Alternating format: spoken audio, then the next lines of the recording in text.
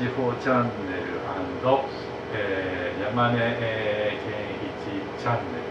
本日はですね、えー同時に、えーカメラをですね、えー高千穂のが2台僕のハンディカムが1台全部で3台で、えー撮影しておりますので本日も高千穂ちゃんよろしくお願いします。よろしくお願いします。元気だった？元気でした。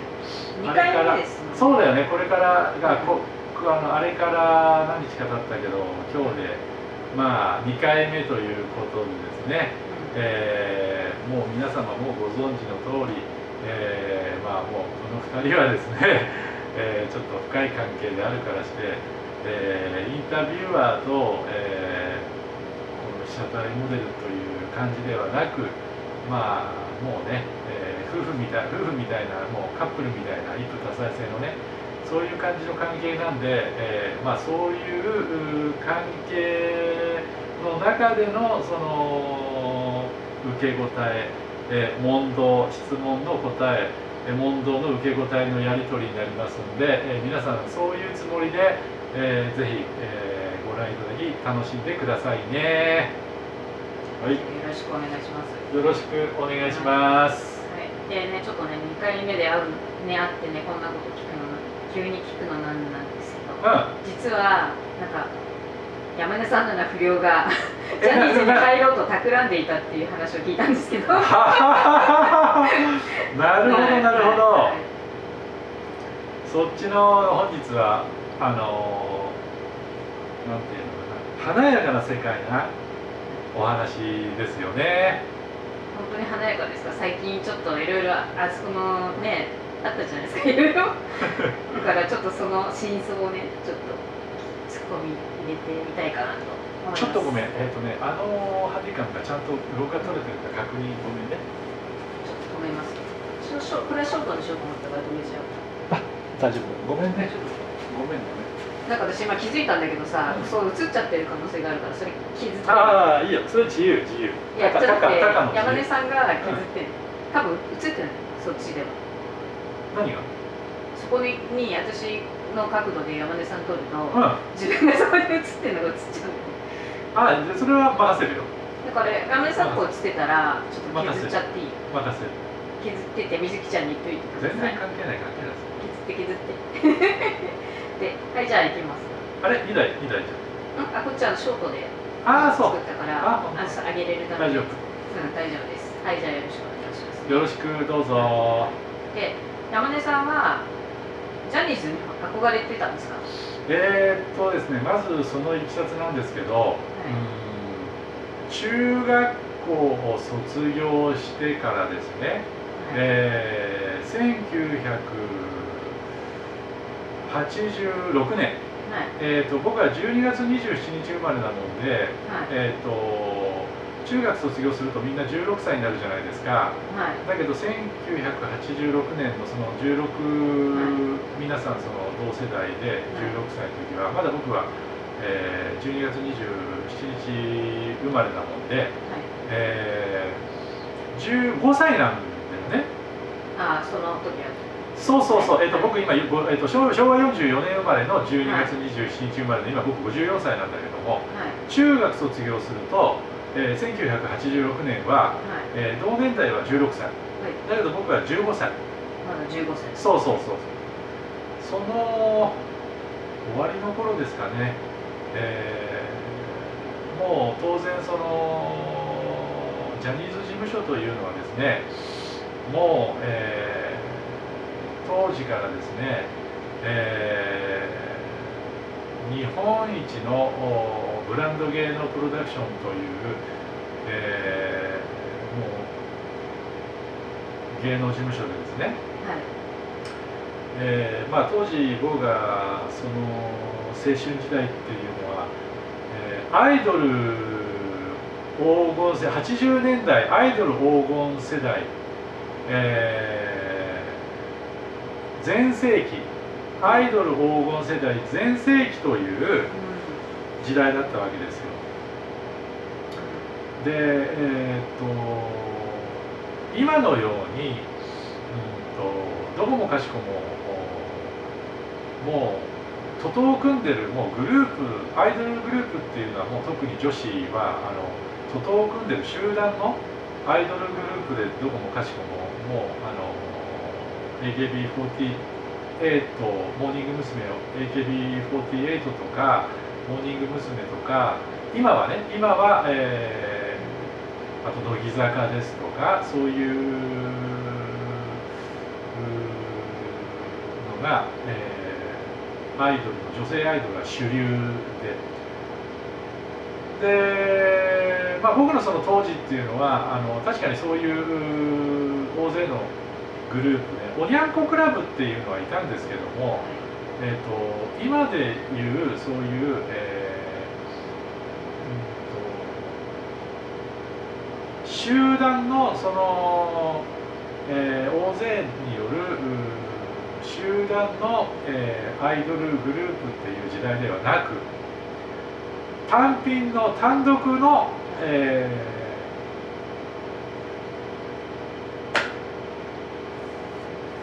単品の、えー、単独のソロのアイドルグループが主流だったわけです。はい。え誰が好きでしたか？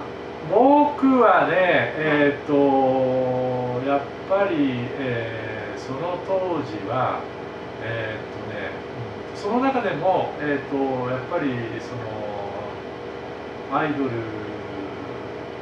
で結局えーと、そういうグループ以外で単独だと,、えーと、その時代はね、えーと、そういうもう黄金世代全盛期黄金世代全盛期の黄金世代のアイドル黄金世代全盛期だったら100人以上いたわけ。あ,、うん、あの100人以上あの名前が分かるようなあアイドル歌手っていうのアイドルがまず僕なんかの全ね年上。あれそしたら中森明菜とかあよくよく知ってんね。よく知ってんね。よく知ってんね。あの高千代ちゃんのちょっとあの年齢が非公開でですねあのまだ謎であの彼氏の 旦那と僕も本当知らないんですよ。であの年齢だけは非公開で。ただその見た目が割とこうすごく、えっと綺麗な子だからね。あの巨乳であのナイスバディのねあのムチムチのねムチムチしたあの巨乳のナイスバディでね、まあ、身長は160ぐらいなんだけどとにかくあのええー、体してあの峰不二子みたいな体型ですわ。いやそれ大げさですよ。顔も本当綺麗だしね。ただ年齢は非公開。で、えーと、自分なんかの時代は、えーとその100名以上いる中でもトップ3ナンバー3っていうのが目立ってたの。ああだ誰ですか？誰とまず、えーと、言わずと知れた松田聖子がトップでした。あ、はい、あ松田聖子さん聖子ちゃんがトップでした。これは当時まさか今になってまあご存知の方多いと思うんですけどもあのちょっと彼女とは、えーと、僕は今ある縁がありましてね。まあそれはあのちょっとまああのあまり具体的に詳しく説明すると、まあ、今回はちょっと今議題がジャニーズの議題なんで今回聖子ちゃんのことをちょっとあの長く取り扱ってるとちょっと時間がないので簡単に言うと,、えっと僕の、えっとこれは当時当時はまさかそんなことを、えっとえーと、そうなるとも思ってないし当時は全くあの予想もつかなかったことなんだけど僕の最高の複数のうちの一人の兄弟分っていうのが今いるわけ。あの、まあ、僕の兄弟分っていうのがある方兄弟分がいるわけその、えーと、なんと,、えーと、高橋っていう兄弟分なんだけども年上なんだけどね。あのその、えーと、僕の兄弟分の高橋が、えー、と以前あの大手石原プロダクションだったんですよ。石原プロモーションの石原軍団だったわけ、はい、で、えー、となんと,、えー、とそのえ聖子ちゃんがもともと高橋の元あのリアル彼女で、えっとあ、それだけでもびっくりなのに今まで歴代、えー聖子ちゃんがあいろいろ夫だ彼氏だと付き合ってきたでしょ何人か、はいその中でも一番聖子ちゃんが惚れてて愛してて好きだった相手だったんですよ。その高橋のことのこと一番の要するに元彼はい。が僕の今の兄弟分そういう縁がありますね。であのそういう今でさえそういう結果なんだけどもやっぱり当時僕があその中学卒業中学の時からとか中学卒業してから、えっと松田聖子ちゃんはやっぱり、えっとトップで当時やっぱり好きだったかな。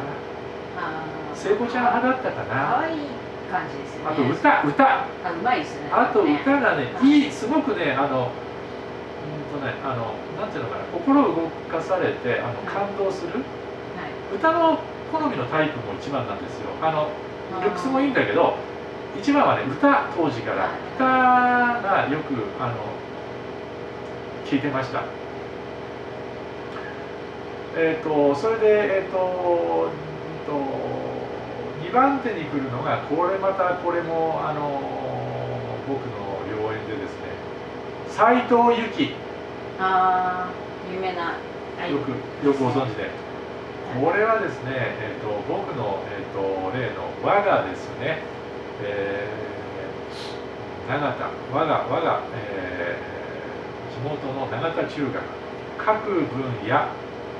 ね、えー各分野、えー有名人。各分野有名人。日本一、えー多数輩出中学ね各分野有名人えー日本一多数輩出中学の僕の我が永田中の3つの先輩なんですよ。それで、えー、とやっぱり、えー、と縁があってあの家族ぐるみのね僕がその斎藤家斎藤家族ねえーゆきちゃんも斎藤ゆきちゃんも、えー地元で偶然ね親子でママと一緒に親子でいるところ偶然会ったこともあるしで向こうもあの立ち止まって5分ぐらい5分ぐらいねあのこっちも俺の親友がいて2人4人で5分ぐらい立ち話したこともあるしっていうのもその斎藤由貴ちゃんっていうのは、えっと、実の、えっと、弟実の実弟っていうのがいて僕の1個上にやっぱり永田中で。あのそのあの実弟の弟っていうのもあのタレントだったんですよ。斎藤由貴の後にえっ、と俳優とか歌手のタレントになったうん、身長すらっと180ぐらいあって長身イケメンのはいね、でその弟がもともと僕が中学時代からのあの将棋仲間って言って仲良しなんですよ。弟も僕仲いいの。将棋仲間で。いや山田さんが将棋俺将棋を中学の時やってたっていうね。将棋ってあの将棋っていう陰キャ陰キャのさなんか将棋って陰キャじゃん。ねなんか似合わないっていうか。オールマイティで、あのマはいルチマルチ人間って言ってもう小学校の時からもう裏も表表もマルチ人間って言って何でもこなしてたあのオールティだったわけ。だから将棋もやってたしワールさんもやってたし何でもやってたのね。意外でしょ将棋は。将棋将棋とか。でで斎藤隆二君っていう1個目の先輩なんだけどそのゆきゆきちゃんのその弟ね。その弟は中学の時の将棋仲間。はい。そういう感じで、えっと、斎藤家とは、えっと、家族ぐるみの面識というか縁があります。はい。で松田聖子ちゃんはさっきそういうふうに言ったでしょ？で特にしかもだよ。ごめん。大事なことを言い忘れてたんだけどはい。あの聖子ちゃんは今あのこの世の中で流行り今ネット社会、この世の中ネット社会なんで今流行りのあのネット恋人っつってネットねねネッカノっつってネット恋人。ネッカノっていうネッカノネット恋人。はいはいで今あの流行ってるですね。この今あのネット社会が生み出したその僕ね聖子ちゃんネット彼女なんですよね。僕だから僕のことも知ってるでえっと彼女聖子ちゃんでしょ？えっとユキの説明終わったでしょ？ね共にえっとルックスも2人ともえー、聖子ちゃんも、えっと、特に、えっと、ユキなんかは、えーえー、絶世巨乳美女ですよ。絶世巨乳美女ね。今でもね。あの今でももう聖子ちゃんもユキちゃんもカリスマみたいな、そうだね。その通り。で今もうほら結構もう年いっちゃってるけどもいまだにあの2人はあの美魔女ね。美魔女。美魔女でもう美しいですよ。あの2人ね。あ綺麗ですで最後、えーと、ナンバー3ナンバー3というか、うん、まあ、3本の指に入るっていうね。あの、まあ、ちょっとその当時、えーと、圧倒的だったのが聖子ちゃんが圧倒的カリスマ聖子ちゃんだったわけ1位だったわけ当時、はい、で2番手はあの今から言う、うんと、人物なんだけどもえっとね結城ちゃんとその子で分かれるのよ。2番手はどっちかって、俺はあのひいきとか忖度とか忖度とかひいき抜きで雪だと思ってるんだけど総合的に考えて。だけどやっぱりさあの秋菜っていう意見もあまあ言っちゃったけど中森明菜ね、うん、明菜っていう意見が多くてあの何何しろもう3本指にその3人が入ってる、うん、3番目中森明菜ですね、うん、これはあのもう言わずと知れたスーパーアイドルであの当時すごくお姉系の感じの美女でねあの歌も、えー、俺が一番好きなのは当時スローモーションっていうねあの案外案外あれですね。なんかちょっとロマンチックなものが好き。ロマンチストだよ。あの基本的に。案外意外とっていうんじゃなくて結構ねうんあのロマンチストですね。なんか激しい歌が好きなのかなと思って逆にダメ逆にダメ。俺ロックロックとかパンパンクとかああいうのねガチャガチャしてるのダメでねあの歌でもねあのすごくロマンチックなあのバラードとかそういう本が好きだもん。うん、でそれでスローモーションとか聞いてってあのアキナも当時からあのそれなりに好きだったんだけどもあのちょっとねいろいろ彼女っていうのはまあその例のねジャニーズの混同マッチ問題だとかいろいろあって自殺未遂とかをしちゃってでもうちょっと精神的にもおかしくなっちゃってもうここもう何十年ともう鳴りを潜めてしまってね。で、うん、だいぶ年が経ってからのその彼女の画像とか見るともう拒食症って言ってねガリガリに痩せ細っちゃって、笑顔の時もちょっと歯茎歯茎が出てるその笑顔の写真なんか見ると申し訳ないけどねあのちょっと昔のその綺麗な面影もなくなっちゃってるちょっと劣化しちゃってる感じで明菜ちゃんは今はちょっとこれは俺の意見個人的意見だからねあのあくまでもその悪意もないし、ね、アキナさん本人やアキナちゃんファンにはあ申し訳ないけども僕はあアキナちゃんとはタイプじゃない。あそうそうなんですか。なんかすごいスタイルって綺麗な感じ当時はね今はそうでもないと思うよ。あの痩せちゃって、うん、当時はもうスーパーアイドルでねもう本当にすごかったけども今は、まあ、最近ちょっと復活しかけて YouTube にもあの歌であのスタジオかなんかで歌ってるところつい最近もなんか復活してあの YouTube アキナちゃんは YouTuber として歌の方のチャンネル持ちましたよ。あなんかな見見かけたかも。そうそうそう。だけど今のその歌ってるところとかもなんか昔のその美しさもなんかちょっともう正直落ちちゃってるし劣化しちゃってこんなこと言うとねあの誹謗中傷だって言われちゃうかもしれないけどそれが正直な僕の感想なんてしょうがないしだけどあの俺の関係者だから言うわけじゃないけど聖子ちゃんとあのユキ、聖子とユキっていうのはいまだにあの美魔女で美しいしテレビも人気もあるしそれなりにテレビもバンバン出てるしその2人いまだに。だからちょっと昔の勢いは、えー、いろんな意味で総合的に明菜ちゃんはないなと。そういう感じでとにかく、えーと、先ほどの話に戻ります。だけども100人以上そういうアイドルたちがいた中でのその3名は当時、えーとね、3人で、えー独走していたんで相当な総合的実力なわけ。そういうふうにアイドルの、えー、と全盛期ね。全盛期の黄金世代に一番売れてたあアキナ。その次に、えー、ユキせあユキアキナ。トップが聖子そういう感じで、えー、あのおとはい、はい。ちょっとアイドルについて語ってもらってこれちょっと一回切ってはい。ごめんねちょっと脱線しちゃって。だからこれこれでアイドルについて語るにしようかなと思って。でジャニーズの方をちょっとじゃあもうそろそろ今最後ちょっと言うことあるからあのアイドルのことね。あのそれでえっ、とあじゃあアイドルのことはもうこれであの、うんうんうん。今ので。今でいい？じゃあちょっと俺ごめんね。アイドルそれでえっ、ととにかくうーそのえっ、と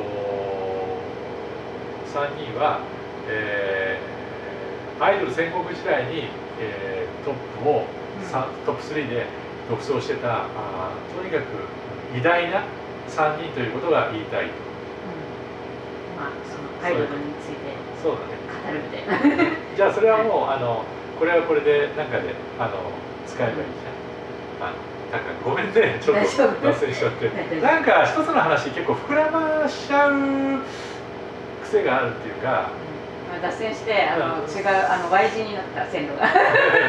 結構さ例えばいろんな話しておけばさ、うん。あのまあ切ればいい。そうそうそうそう編集でも使えるじゃない？だから一応話しといた方がいいかなって感じでうん。今も俺これカットしないで編集のためにそのまま動かしてるしね。はい。じゃあいよいよジャニーズはいっていただきます、ちょっと待って。ね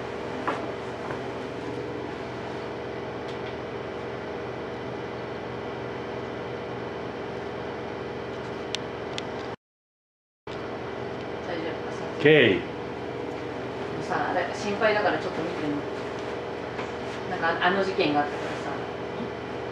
あの目取れてるか今ちょっと見たら。ああはいはいはいはい。怖いからさ。ああはいはい。例のね。例の件 DS 吹っ飛んじゃったってやつ。そうそうそう。すごいショックだったあれ。じゃあ次ジャニーズ。はい。いきます。はい OK はい。じゃあ山根さんいよいよあのジャニーズ体験を語っていただきたいと思います。はい。えー、とですね。うーん。まあ僕が、えー、と中学を卒業してからは、えー、と僕の同級生っていうのは、えー、とみんな、えー16歳になるわけなんですよね。ただ僕はあの昭和44年の12月27日生まれなもんで、えー割とその遅く同世代に比べると遅く生まれてるから、えー、と中学卒業すると,、えー、と15歳な状態なわけですね。それで中学1986年、えー15歳の時に、えーまず僕は、えー、と日本一の、えー劇団東杯というみんなもご存知であのよくドラマの、えー、と終わりのエンドロールで、えーよくしょっちゅう名前を目にすると思うんですけども今や日本一の劇団になって劇団東杯に僕は当時15歳の時に、えー入りましてね。それでそこの、えー東杯で、えー何人かやっぱりその仲良くなって同じ年とかあこう年下とか仲良くなるわけじゃないですか。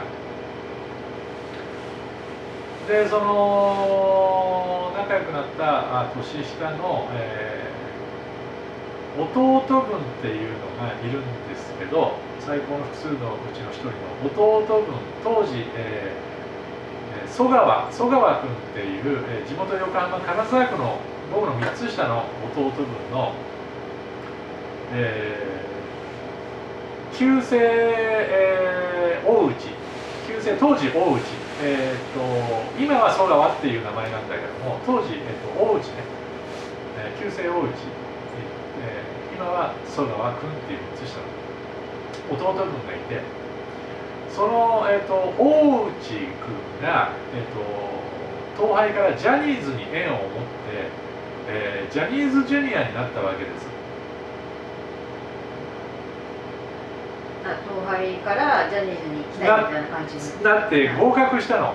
うん。オーディション。あのジャニーズのね。ジャニーズの。その大内君がね、はい。僕の弟分当時から、その関係でえっ、と大内君だ俺もあのいいないいなみたいなあのジャニーズに当時そのもちろんね、えーもう当時からあ日本一の、えーブランド芸能プロダクションですよ。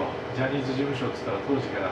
日本一の超有名、えーブランド芸能プロダクションだったもんで、えーそこから興味を示して、えー大内君にいろいろあの話をしてたらあの彼がね、えーなんとじゃあ、えっと友達、え2人まで。劇団東廃一応ほらまあ僕たちその東廃の人間だったんでマルティーノズブの素人ではない。東廃の人間だったんであのジャニーさんも興味を示してくれて。じゃあ2人友達連れてきていいよと。お友達2人。えっとだから金沢区の中学の当時まだ中学生だったんだよそういえば大内君は。だから中学生の同級生のお友達ね。えっと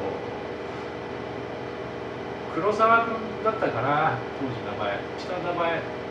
ちょっとはっきり覚えてないけど黒沢君だったと思うけど、えー大内に、えー黒沢に、えー中学の同級生ね大内君そして僕とお選抜されまして。選抜というかあの選んでくれて選んでくれてというかまあ俺がほら興味示したしあの兄貴分だからね当時の。で3人を、えーメンバーが決まりました。まず、えー、と大内君の人生をね。そして、えーいついつに連れておいで。合宿所に連れておいで。いいよって来て。あのねスカウトみたいな感じで、えー大内君を通してあの偉大なあ亡き世界一のプロデューサー世界一の芸能プロダクションジャニー北川に呼ばれたわけですよこれがまた。君来てみゆうゆって言われた？当時はねえっ、とそうだねそういうなんで、えー、と彼があージャニーズの子たちのことを言うっていうか知ってますか？はい、えー、高千穂ちゃん。質問逆質問です。インタビュー逆インタビューは山根の 逆質問コーナー。いやあんまりあのジャニーズに詳しくないああそう。えっ、とえっ、とちなみにタカタカはさはい。ジャニーズよくほら女の子の大半が日本の女の子の大半ははい。ジャニオタみたいな感じでジャニーズファンで追っかけも多いじゃない、はい？タカは、えー、とジャニーズ派ではなかったのかな正直。俳優さんの方が好きですね。なるほどね、はいなるほど、はいまあ、そういうタイプ分かれてるからね。はい。なるほど。じゃあ分かんないね特にね、はなぜ、えージャニー喜多川があみんなのことを言うと呼ぶか教えましょう。どうぞ人数があまりにも多すぎて、はい。ジャニーズジュニア含めて名前をよっぽど有名なやつ以外はわからないから覚えられないからです。えそんなそんな理由があったんですか？じゃあだからまあ言うって。言う言うね。そういうことだったんですね。はい。なんか呼びかけるためになんか使う言葉だと思ってましたけど。みんなそう思ってるだろうね、はい。ただ単なるあの覚えが悪いと。う確かにそんな。何百人もいるんだからわからないじゃん。いちいち覚えてられないじゃん。んななんとなくしか覚えてないですね大体そんなにいたら。うん。ジャニーズジュニアって言ってまだその世に出てないそのテレビとか雑誌とかに、まあ、出てる子もいるよ。ジャニーズジュニアっていう形で、あまあなんかのまだデビューデビューをする前の。そうそうそうそうそうデビューしてないジャニーズジュニアっていう連中はもう立派なジャニーズ事務所のもうタレントなんだけども、はい。世にも出てるんだけどデビューっていう正式な形じゃないとほらなかなかその世世の連中からはこうあのもうこうなんていうのかな認知されないじゃない？うん。ただそういう連中はやっぱりほらジャニーさんもはい。わからないわけだ山口さん何担当だったんだろうね。それでねえっ、と、はい。はい。ここから話が続きます、はい。ああ当時のことを今振り返るとはい。まあたまにそのたまにというかあのまあその今はおかげさまでその30万アクセスえっ、とえっ、と人気人気、えー、30万アクセス世界一自伝ホームページ修羅の青春期っていう、えー自伝ホームページ修羅の青春期っていうう30万アクセスの人気自伝ホームページがあるんですよ僕の。そこにももうあのもう結構前にそのジャニーズ物語自伝にその当時の物語書いてあるけどその書いてる時とかでたまにそのじゃじゃあの今の SNS 更新してる中でジャニーズネタになると。たまにそこそこからね切り切り抜いて切り取ってブログとかにそのジャニーズネタにするけどその度に本当にあの懐かしい思い出。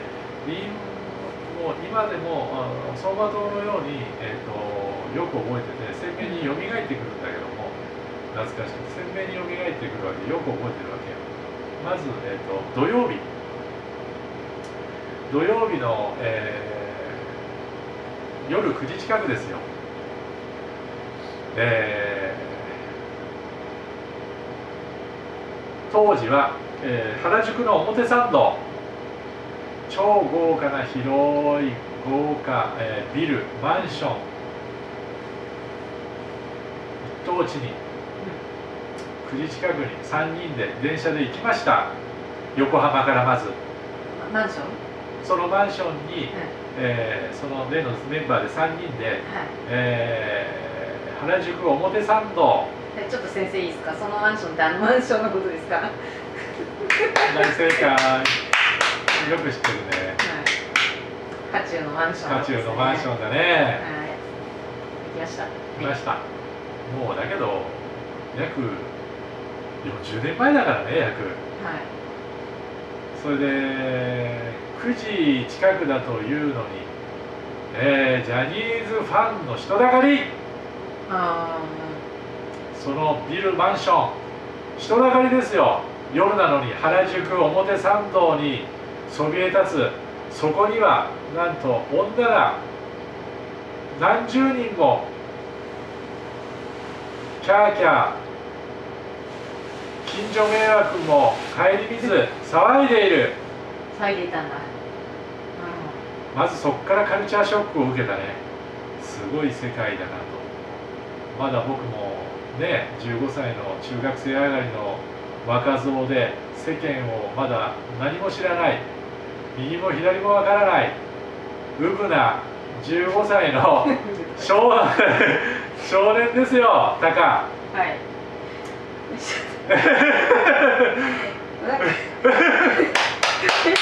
なんかちょっと笑っちゃいけないんだけどさあの本当にウブだったんですか？中学生中学生の時に。まあどうでしょうか。なんか修羅の青春期になんかそこになんか女の人を後ろに乗っけて。あのねはい。まあ人間なんていうのかなそのその同世代とかに比べるとあのその頃にはもうませてたませがきだったと思う。はいませ同世代とかに比べるといろんなことを、うん。まあそのその時までもいろんなことを経験してるませてたとは思うよ。多少は。まだ15でも。はい。ただしうーんとやっぱりまだその人間っていうのは僕が思うに中学生までっていうのは物心もついてないしろくに体も出来上がってないしその物心がついてないと思ってるの。はい。中中学卒業してからはもう物心がつき始めだと思ってるのね。はい。だからまだまあ人間的には総合的にはウブかなと。失礼失礼な笑い方めっちゃ失礼な笑い方。いえ。うんそれでねはい。まずそこでカルチャーショックを受ける。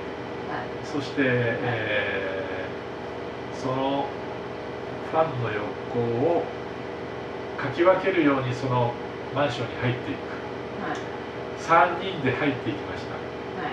えー厳重な、えー警備員も、えー中に厳重な警備員も、えー中で待機しているので当然勝手にエレベーター、えー、とその当時はねまだ時代が時代だったのでオートロックとかそういうバーっていう自動ドアみたいなはい。そういうのはなかった時代だったような気がします。そこのマンションにもえーエレベーターはあったけどもガードマンね。はい。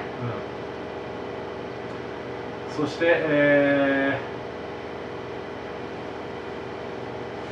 ー、ちょっとなんかあれだからこういう形の方がいいかな。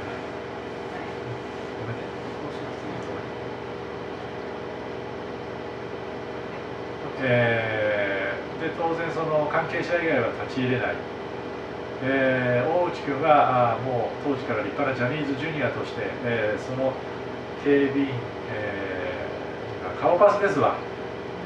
おおすごいな。大内ちゃんっていう感じで。で大内ちゃんの後ろに2人でついていきます。エレベーターに乗ります。がーっと。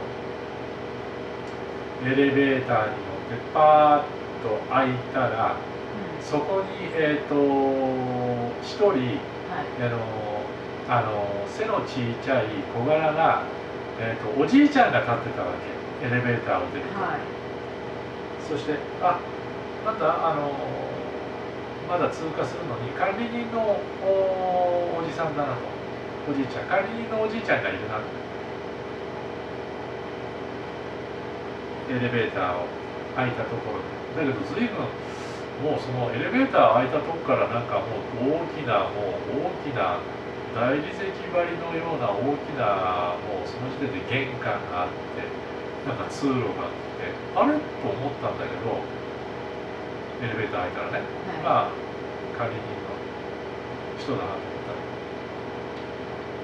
えー開口一番大内君が「ジャニー社長こんばんは。社長。ジャニー社長こんばんは」って頭下げたんだよ、はい。え？嘘だ。この男が見るからに管理人とか掃除お掃除要員のおじいちゃん。う地味な感じの。びっくりしちゃって。んうんいやー恐れ入ったわ。これがあの天下のジャニーさんかと思って。あとどうもこんばんは山根と申します。よろしくお願いします。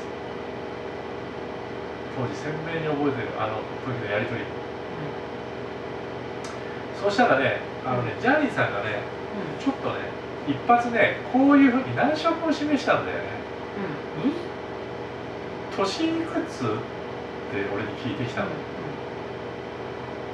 で年を答えました。まあだけどそのその年を言った後別にあの何事もななかったかのようにえーっと温かく3人を迎え入れてくれたんだけど今となって分かったのがあのねジャニーズってねみんなねあの小学生とか、うん、一番多いのは小学生からもう早い人間は入所が多くて、うん、あとは中学生って。中学卒業してから入るのってめったにないのよ。ああそうなんだ。じゃあそれが俺だから俺の俺のことがあの老けてると思ったんだろうね。ああ周りからそうそうそうそうそうそうそう。それで聞いたんだよ、うん。一瞬難色示したんだけどまあ別にそこからまず普通温かく受け入れてくれと。それが、えー僕の人生史上、えー横並びトップの収穫の、えー最高の体験を経験をした。まああのちょっとあの腰掛けって言ってもうすごい短い腰掛けって言ってちょっとのあの数日のあれなんだけど一応そのジャニーズジュニアあのネットのねはい。ジャニーズジュニアメーカージャニーズジュニアの、えー、と百百科事典って言ってジャニーズサイトには一応その今でも、えージャニーズジュニア研修生として僕の名前もお一応掲載されて、えー載ってます。そっからあのそこまでが取っかかりはい。あのー入り口ね。ここからまたちょっと長いいろいろなもうもう時期は短いんだけどももうすごく長くてすごくもうめちゃくちゃ濃い長くて濃い物語が、えー、といろいろあるわけです。そこまでがまず取っかかりの入り口でここからいろいろあるわけ。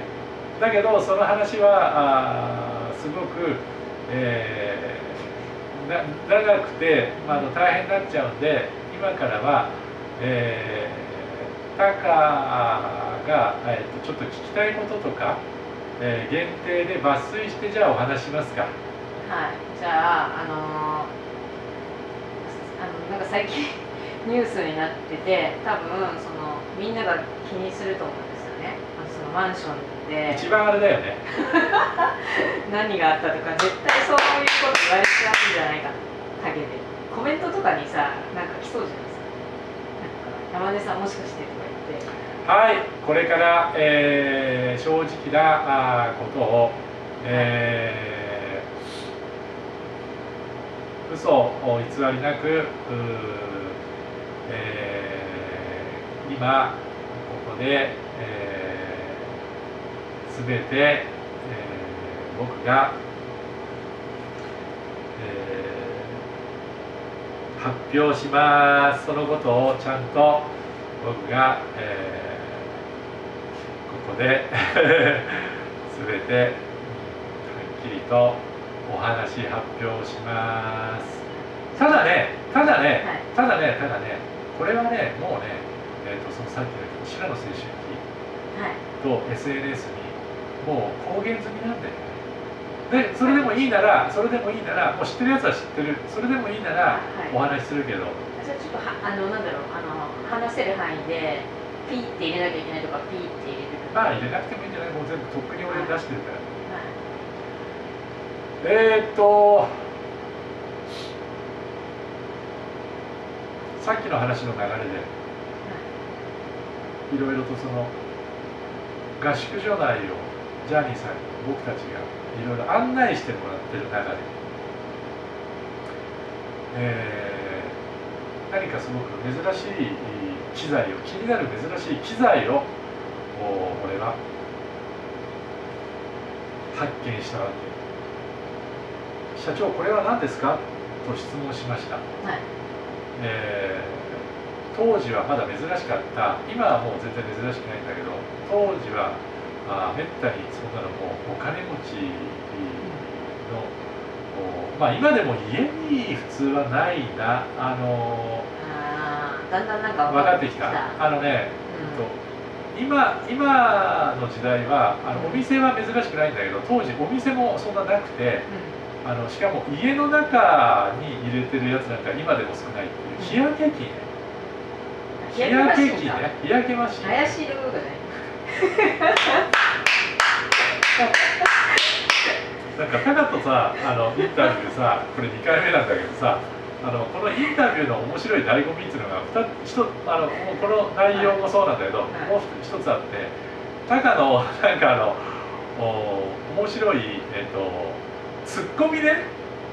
タカのそのたただのツッコミじゃなくて、えっと、ギャグを交えてのツッコミね。これもすごく醍醐味だよね。そうですか。はい。まあ自分の妄想を勝手に語っただけなんで。いやだってだって道具でしょ。で普通は家に置いてないでしょ。そう想像しちゃうんだ ディルドとか？あそこピッと入れるなり入れるなり入れないいや家電みたいなこと言ってたから電気で充電できるみたいな思っちゃいますよね。そうだよ。者も思いましたよなるほどね。はい。であ日焼けマシンがあったんですか日焼けマシーンがあったのでこれはね日焼けマシーンって言うんだよ。ちょっと焼いてみるかい？って言われたからお願いします。その時です！はい。その時まず、えー、と他のメンバーは、はい。えー、と向こう行くような感じではい。促されました、僕は、えー一つの個室にその日焼け機の一つの個室にジャニーさんと二人きりになりました。おおで服脱いで言われたので上着を脱ぎました。当然ズボンもパンツも自分で脱ぐもんだとみんな思うでしょ？はい。なんとなんとズボンとパンツはいきなりジャニーさんが 脱がせました。おそうシャッとおなんだなんだ？はい。なんだこの？えでもそれって噂を聞いてた後でしたどっちだ大正解あもう当時から世間ではちらほらそういう噂があり僕もそれはこうちょっとこあ、う聞いてた。はだからあのジャニー北川ジャニー北川さんは同性愛者の保護ではないかっていうことは聞いてた。のだそれは知ってたんだけどもおお噂通りそう来るかいペロンとペロンとズボン抜かれながら。ただしそこの時点であまあそういう噂もあるしあのお世話お世話を焼いてくれるここまでしてくれる優しい社長なんだなってまず思いました。疑わないんですね人を。あのあありがとうございますみたいな、はい。でそこから例えばじゃあ婚姻って言ってあのポコチンをはい。こう舐められるわけでもなくあうーそこから、えー日焼け機を勧められました。それが そんな感じで。はい。まずそれが一つ目そういう性的行為で言うならば。まあそれはそんなに大したことじゃ最後まで言ってないからさ。大したことじゃないとは思うけどだけどそれだけでも尋常ではない。少年のパンツを。裸に急にスポンポンに、にするんだから。うそしてそれ、えーが一つでしょ？その件でもう二つ俺のは全部で2つあったわけ。だけど最後までは言ってないです僕。あでその2つ目っていうのはあのその日いろいろねいろんなもう長くて深い行為も本当もうもう最高の夢のような、えー世界に浸りねあの俺としては当時周りはもう芸能人あのテレビでいつも見てる超トップスーパーアイドルたちが周りにいてその連中と一緒に一つ屋根の下生活をしたわけ。夢のようなあすごくもうねあの素晴らしい世界にしたって、えー僕としてはすごく濃いもうもう人生史上クラスのもう濃い内容を過ごしたのですごく長くも感じたしあの睡眠すえあごめんなさいちょっとはい電池が電池が切れた。ーはいはいはい。待ってまあす2回目の被害続き。2回目の被害で続きだね。2回目の被害電池切れたからちょっと早いかもしれはい。ない。2回目の体験記でそうだね今からね。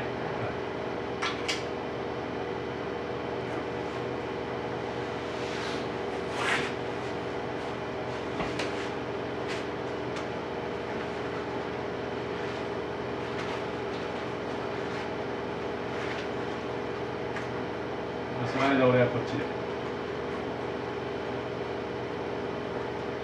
自分のカメラに。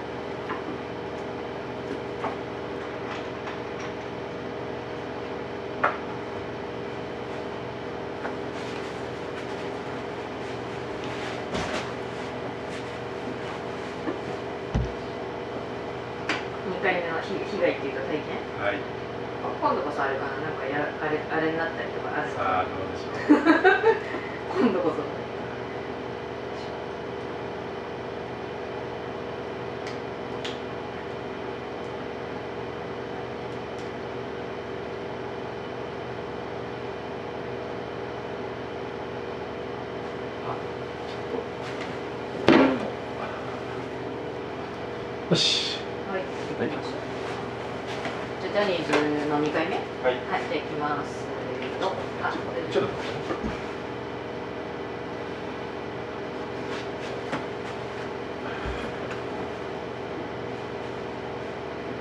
はいじゃあいきますはいスタートしましたはいはい、えー人生史上さっきの続きだよね、えー人生史上本当もう、えー横並びトップにも貴重な体験で、えー夢のような、内容が本当にもう濃かった。で時間も相当長く感じました。その日、えー就寝に着いたのはあ確か夜中12時ぐらいだったかな。ちょっと就寝の時間まではよく覚えてないけど。その、えー就寝では僕と大内君と黒沢君のこういう布団で、えー確か男組ね当時のもうあのトップクラススーパーアイドルグループのね4人組のね、え当時から超、えスーパースターの男組ジャニーズのねイケメン集団。う知ってるかなんあしてますおうよはい。男組の部屋で寝かせてもらうことになってお3人で、えーごめんねこっちばかりでしょ大丈夫ですえっ、とね。川の字。横並びじゃん。横並びで寝てたんですね。こういう布団を3枚用意してもらって川の字で僕と大内と、えー黒沢で寝ることになりました。はい。寝ることにしたんですね三人でね大内さんとね。そして、えー布団をかけてさあおやすみなさいとはい。なりました。はいなった。ジャニーさんに布団を引いてくれて。えジャニーさんが布団見てくれる。あのね何でももうお風呂お風呂の時も例えば俺がお風呂入る時も前に風呂入った状態の人間からわざわざきれいにまたあのお湯を全部抜いてきれいに洗って入れてくれたり俺が入る時すごいよ。結構まめな人場面ね気配りが本当にあの当時からあー事務所生一人一人に対するそういう思いやりがああいうビッグなもうプロダクションの社長がしかもそんな日本一のビッグな人が自ら、うん。えー一人一人をそうやって世話をするっていう器量もおあの彼をおあんなビッグに形成した一つだと思ってる。すごく面倒見がいい。うん。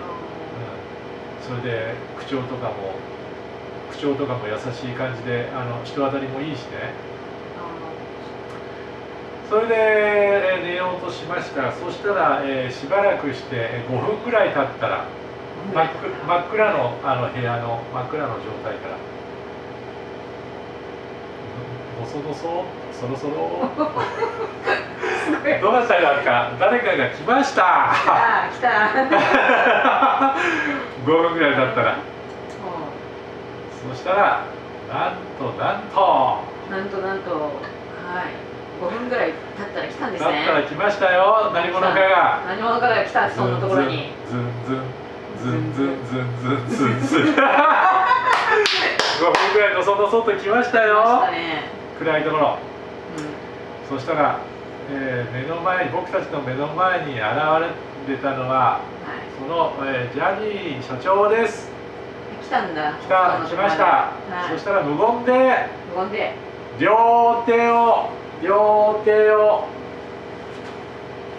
両手をはい。両手を。はい両手を。大の字に。両手を大きく大きく両手を大の字に広げて。はい。そのまま、えー飛行機のように。はい。ストーンと倒れるように僕たち3人のはい布団の上に乗っかってきました。なんかよ幼児みたいじゃん。布団にとか上に乗って上に乗ってきたんですか幼児みたいじゃん布団の上にボーンとか乗っかってくるじゃん子供とか。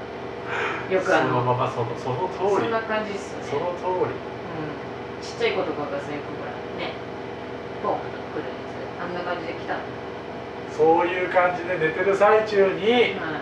乗っかってきて乗っかってきてはい。じゃれ合ってきました。こう抱きしめられました。え山根さんが抱きしめられたんだ。ただし。ただしはい。まず大内くんは横で吹き出すようにゲラゲラ笑ってました。大内は吹き出しながらゲラゲラ笑ってました。しかも布団を隠して恥ずかしいからだろうから布団をかぶ布団布団に潜って布団をかぶって布団に潜りながらゲラゲラ大笑いしてました。はい。あの時の、はい。えーシーンを走馬灯のようによみはっきりとお覚えて蘇ってます。え抱きしめられてチューとかされたの？そこまではねないの。っていうのは大内が多分ゲラゲラ笑っちゃって吹き出しちゃってたから多分ね、えージャニーさんも調子狂っちゃったんだかなんだか知んないけど俺ははい。なんかあのーユユユニークなおじおじおじさんだなっていうなんか世話焼きの冗冗談冗談とかもこう冗談とかななんつうのかなそのうんユニークで冗談も多いユニークな、えー、と世話焼きのおじいさんだなっていうふうにしか俺は思ってなかったの面白いあー面白いおじいちゃんだなっていうふうにしか見てなかったの。うん。だけど多分大内はもう察したんだろうね来たと思って。いやでもあのほらこわこわトラウマになるようなあのそういう感じじゃなかったの。人じゃなくてよかった。あのねあのねたまたま俺たちはこうやってえっうんと、グーって抱きしめられた後に大内がずっと笑っちゃってたからあのねもうすぐねそのままもうどっか行っちゃったんだよ。まあそれはだってあのあのなんかムラムラしてきたのになんか急にさなんか笑われちゃったらさあ多の僕。分それだったかもしれない。もしかあのねうん。多分ね3人で怯えた顔してたらうん。今までのほらうん。被害者何百人っていう発表が出てるんだけども、はいはい。みんな当然怯えたもうすごく顔面蒼白でなんだってなると思うの、そこをやるのが多分そういうえそういう S 系でそういうふうにやるのがジャニーさんは多分やってきたと思うの。全員好きだと思うのだけどうんだけどゲラゲラ笑われちゃったら 調子狂っちゃってダメだと思うのよ。あと逆にあのほら来いっていうのもダメですそれもダメメみたい。多あの性格的に。あの俺それうん裏話で知ってんだけどはい。逆にあのホモ相手が同性愛者のホモだとするんじゃん。はい。それダメなんだってジャニーさん。だから多分その類に類似したのか大内くんがそういうふうにもしそういう大内くんがあの吹き出して笑大爆笑してなかったら多分3人とも責められてたんだけどそれがなかった、まあ、それ俺そこまでは書いてないよ自伝本に。今それは初めてそのなんで書いちゃったのかっていうのはタカトのあれだから初めてこれ初公開なんだけどあーじゃああれ貴重貴重 貴重。貴重な話です大内くんがそれがなかったら多分やられたと思う。一人一人一人一人。えその一人一人がもしかしてやれてたらさあの木村拓哉みたいになってるかもしれないじゃん彼はどうなの？あじゃなくてそのみんなやられてたらね、うん。ここまであのそうやって震えてうんたらさ、あの食べられてたじゃん。うんうん。そしたらその三人トリオがさあのスマップみたいなああ、なるほど、そういう意味ね。そういう意味ね、そういう意味ね。ス。マップみたいになったかもしれだない。よね。ってことですなるほどね。なまあ、そこはそういう方法で売り出していくっていうふうに世間になんか発表まあバレちゃったバレちゃったっていうか。ただね、あの俺はまあえっ、とあの行為がまあ最後まで、はい。まあ言ってないっていうのがあるんだけども、俺はあの行為がまるっきりあの不愉快でもストレスでも何でもないし。あの逆にそのジャニー喜多川からそういう形で可愛がられてるっていうのは俺は名大名誉だと思ってるわけよ。えじゃああれじゃないの？あのだって全員にはあれあれだよ。いくらジャニーズに例えば入ったとしてもはあのそのまず合宿所っていうの自体気に入られた人間じゃないと呼ばれないんだって。そうですよね。なんかいけないあそこそうそうそう全員がが全員あそこに行ったことないんだって気に入られた人間じゃないとあの当時のあの表参道原宿表参道の合宿所っていうのはまずそこのもうくぐれないっていうことと全員が全員いたずらされたわけじゃないから過去歴代のジャニーズジュニアって。だからあの気に入った人間っていう可愛が可愛がってくれたのは気に入ってくれた証拠だしあの何？全く俺はあの抵抗がなくてその大名誉だと思ってんの。だからで抵抗ががないってことはさその時にもし仕掛けられてたらさあのあのちょっとウェルカムみたいな。俺の場合はね俺の場合はねあの結果的にはちょっとあの最終的にねうあのねすごいハードハードハードレッスンなのんジャニーズ事務所っていうのはまず、えー、とルックスもさることながら、えー、とまず一番のはルックスなんだけどルックスもさることながらダンスっていうのを踊れなかったらダメなのよあそこ。当時なんか特に。あのあ。ダンスレッスンをまずちゃんとできないとうん。あのダメなところで、えー、とまずね俺がね、えー、とその次の日のその、ダンスレッスンまるっきりまず俺あの自分で言うのもなんなんだけど自慢じゃないけど運動神経抜群でスポーツ万能な人間なんですよ。あそうですよね。だけどね踊りっていうのはなぜか結構体も硬くて踊りっていうのはまず全く踊れず覚えられず。それが永遠と昼から夜までずーっと何十人の、えっとじゃもう当時は、えっと、少年忍者っていうのがいたんだけどもうデビューしてる連中で少年忍者とジャニーズジュニアの数十人でずーっと踊る踊るレッスンがあるわけ、はい。えっと、六本木テレビ朝日っていうところの当時ね。全く俺がもうダメで、うん、あああこれじゃあついていけないからこれが無理だと自分でもう断念しちゃっうたんですよ。でその後やっぱりジャニーさんもダメだってことになって俺は踊りそれダメになっちゃったんだけどえっとそれともう一つねあのね後から分かったことなんだけどもジャニーズ事務所とかあと当時の、えっと、当時のアイドルね80年代の黄金世代当時のアイドルとかジャニーズ事務所ってあのね背が高いのダメなんだって当時のアイドルって。んまあ大きい人ねほほぼほぼいないですよねあの180センチ以上の、あのそうあのジャニーさん曰くねあのラジオラジオで言ってたんだけどもあの昔のアイドルっていうのはあの長身のアイドルっていうのは使えなかったんですよって。だからあのそれが証拠にうちにいたうちジャニーズのねうちにいたな〇〇っていううちにいたあのアイドルもそれが原因で解雇したいぐらいって言ってたのうん。ジャニーさんが。だからねあのまず俺が背が高かったっていうのもあるのととにかく踊りがダメだったからだからあのその結果的にあのだから俺はあの結局背背とそういう踊りでダメだったんだけどもそれが証拠にあのその後にあの東京の赤坂の、えー、と赤坂にある、えー芸能プロダクションには、えー、とちゃんと,、えーとオーディションに受かってそこにも入ってモデルの、えー、と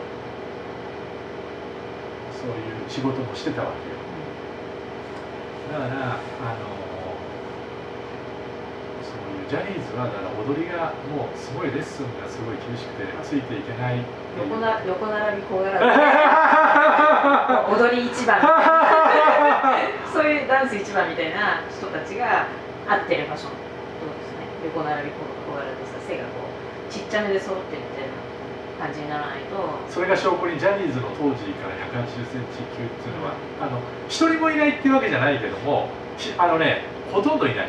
まあそうですよね。なんかちっちゃいイメージがあるんイメージがあるでしょ。ジャニーズ。ジャニーズって。あのしかもジャニーさん自身もあのチビがタイプみたいな。あの人の好み自体もであチビチビのイケメンそう自分がちっちゃいからあねれだからさそうそうそうそうそう。大きいと立ててる気がしないんですよ あの自分より小さいのをこう痛い系なのをこう手をちょっかい出すっていう方が燃え上がるタイプだったってことですねただ結構可愛がってはくれてだから俺の立場はジャニーズジュニア研修生っていう形なんだけど最終的にね。